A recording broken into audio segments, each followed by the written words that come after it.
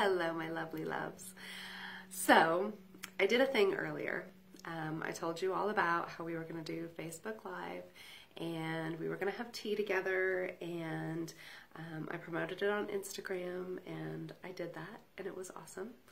Um, and so then I put the video up and somehow we got into some auction site or some crazy thing. And so I started getting these really weird messages. And um, instead of uh, subjecting you to all of that, I decided to just go ahead and record this New Year message for you. And um, we will uh, go ahead and uh, try again next week. But I did not want to miss this opportunity. Um, yesterday I had a cold. Oh my gosh, did I ever have a cold?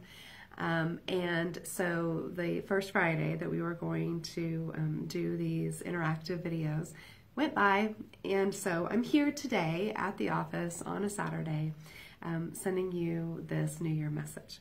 So I wanted to have tea with you one way or the other, hell or high water, apparently, um, technology or no, this was going to happen. So um, earlier I had tea, and I don't know if you all ever have um, yogi tea.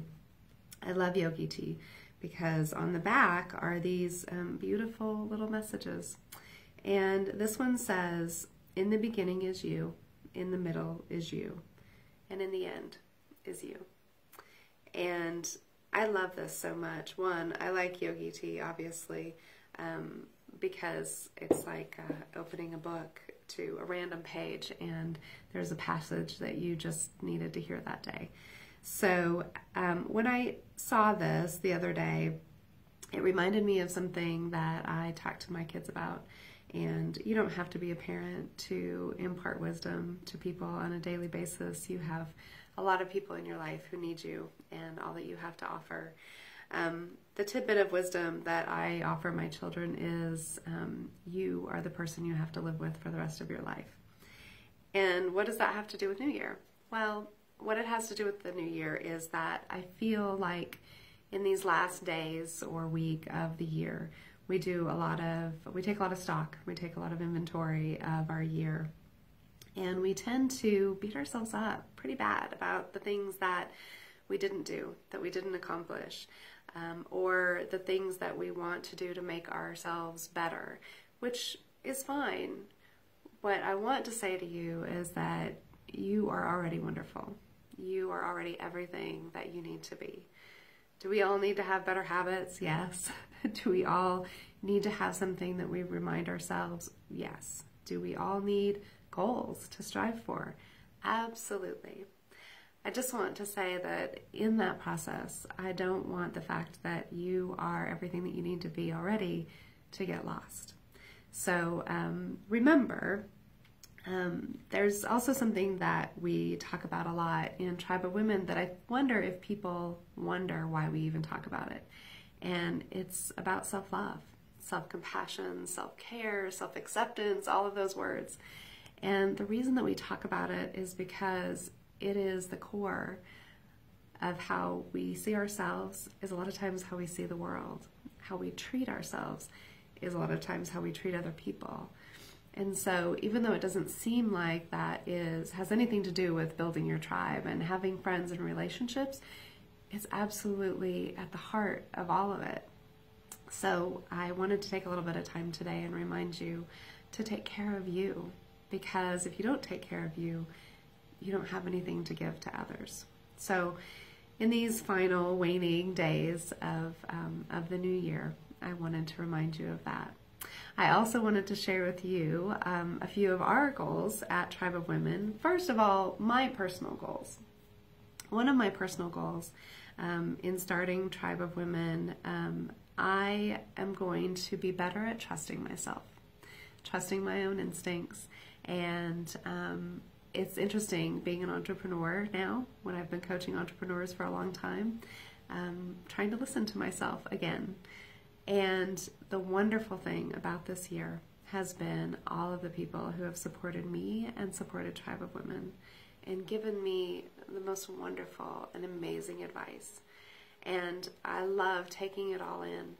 And what I'm going to remind myself that I have coached my uh, clients for years and years about is ultimately you need to trust yourself. So that's what I'm going to do for myself. Another fun thing that was talked, um, that was told to me, was to pick a word, a word that was going to remind you of kind of a recentering. Like, what did I promise myself? What was it that I was going to do for myself? And um, in her word, and this was my friend Holly, her word was nourish. I love that word because it can mean so, so many things. And so, no matter what she's doing, she can come back to the fact that she needs to remember that she wants to nourish herself, nourish her mind, nourish her body, nourish her spirit, nourish her relationships. So that was a beautiful word. Mine is going to be right. And W R I T E. Um, no, honey, not right as in I am right, even though I might be on occasion or a lot. Um, right, because for me, writing is a centering activity. It's the thing that reminds me to slow down, to process my thoughts, and it's also something that reminds me to bring something to you. Um, it gives me time to slow down and process all of the things that are going on in the world, um, all of the things that I want to say to you. And I've been encouraged a lot to um, use that as a vehicle to reach out to you. So I think the other thing I want to ask you, and even though this would have been in the um, live feed in a conversation form, I'm just going to leave it here. And I want to ask you what you need from me. How can we be better connected this year? I so want to connect. And writing, of course, I can put blogs out, but I want to know how we can have better conversations. So this year, we started the Tribe Talk podcast. So if you're at all curious about um, the Tribe of Women origin story, we launched the origin stories last January. I'm so excited we did that. Um, it's our one year anniversary of the Tribe Talk podcast that you can find on any platform for um, podcasts. And so you can listen to the origin story about where Tribe of Women came from, and we'll be exploring that more this year. If you are a podcast listener, how can we do it better? What would you like to hear from us? Um, do you just want us to sit around and chat with each other? Um, do you want um, di- different or better interviews? Um, just give us feedback. I am so open to constructive criticism, so please don't hesitate to tell us um, what it is that you want. And then we also started, um, we did 30 day challenges for a while. Maybe early last year you were part of those and you loved them and you're like, where did they go? Um, we'd love to bring those back or put them into a format that's more useful for you. We were sending emails every single day about things that you could do um, to build your tribe. And the other is the coaching series. So we started the coaching series. We did one in April um, and we did one in July, and then we released all of the material um, for free in the month of September. So um, if you participated in that in any way, would love your feedback.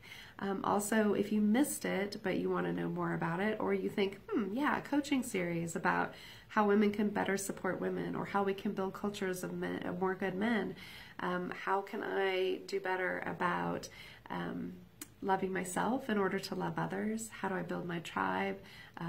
Create better boundaries? How do I navigate mean girl culture? Um, or how do I tribe it forward? That's kind of what the coaching series is all based on. So if that sounds interesting to you, tell me that that sounds great and that that's something you want to participate in. And then finally, um, our Tribe Talk workshops launched this year. And even though I've done tribe talks in the form of a tribe tour um, for quite some time now, um, going and listening to um, how women can better support each other and facilitating those conversations, we formalized it more um, within um, small businesses.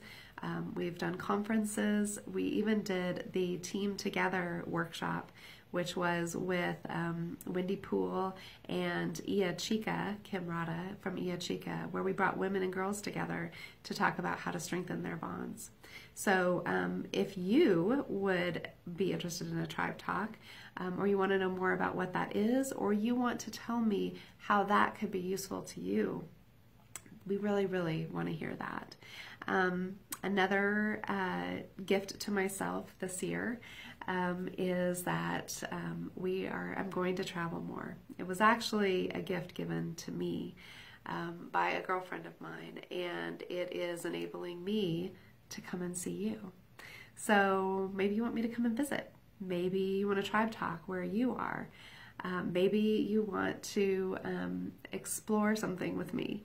So let me know that. I do want to go places and host tribe talks and do more around the country and around the world. So where can I go? Where is it next?